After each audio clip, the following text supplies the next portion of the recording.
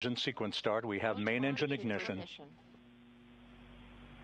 Preliminary, intermediary. Second umbilical tower. T minus four seconds. Three, Second umbilical two, one, pump flight speed. speed. Engines at Engines at maximum. and liftoff. Holiday travel underway for the rocket ride to the International Space Station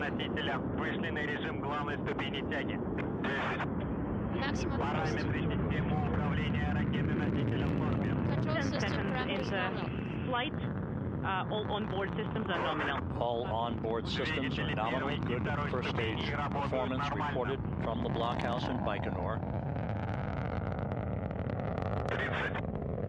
Параметры конструкции T plus ракеты-носителя в 30 норме. seconds. 30 seconds into the flight, the Soyuz booster arcing out to the northeast from the Baikonur Cosmodrome. Good roll, pitch, and yaw program, good structural stability on the rocket.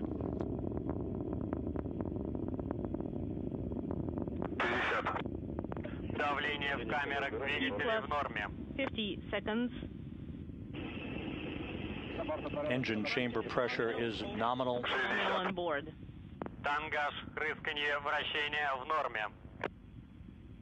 Passing through the area of maximum dynamic pressure on the vehicle, max Q as it's called. Полет T нормальный. plus 70 seconds. Um, 70 seconds into the flight, everything's fine on good board. first stage engine performance reported. Параметры системы управления ракеты-носителя в норме. 90. Двигатели and the view inside uh, the descent module showing Kud Sverchkov at the bottom, to his left, Sergei Mikayev. All engine parameters reported to be functioning normally. The vehicle is nominal, everything's fine on board as well.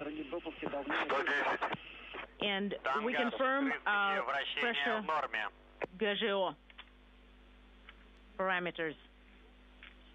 120.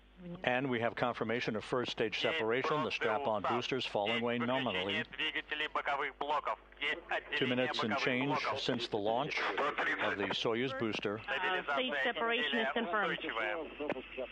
The Soyuz now operating on the power of its second stage engine. 140. Параметры конструкции ракеты-носителя в норме.